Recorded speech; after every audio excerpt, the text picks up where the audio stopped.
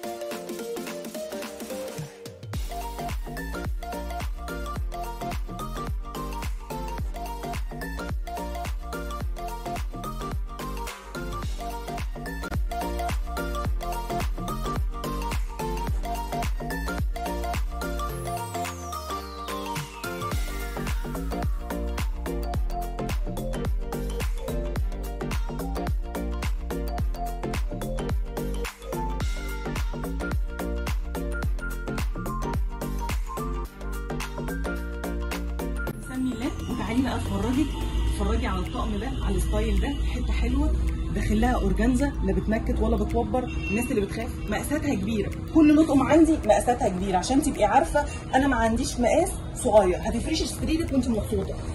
بصوا كده الحتة دي. ممتدة لآخر السرير. يعني هتبقى باينة معاكي وظاهرة في السرير. حتة ما شاء الله بتتكلم عن نفسها. مطعم فيه بقى strass وحاجة يعني محترمة قوي.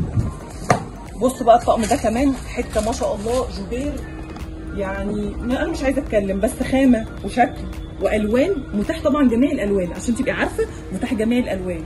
اللي أنا عايزة أقوله لك بقى والنصيحة ليا ليكي يعني النصيحة اللي أنا عايزة أقولها لك النهارده من أختك صغيرة أختك الكبيرة إن أهم حاجة ما تكرريش. في طقم السرير ما تكرريش نفس الشكل أو مع اختلاف الألوان لأ.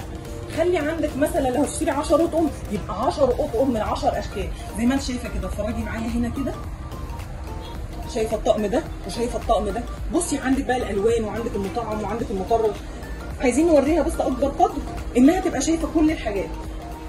بصوا الحاجات دي فيها جبلات الألوان.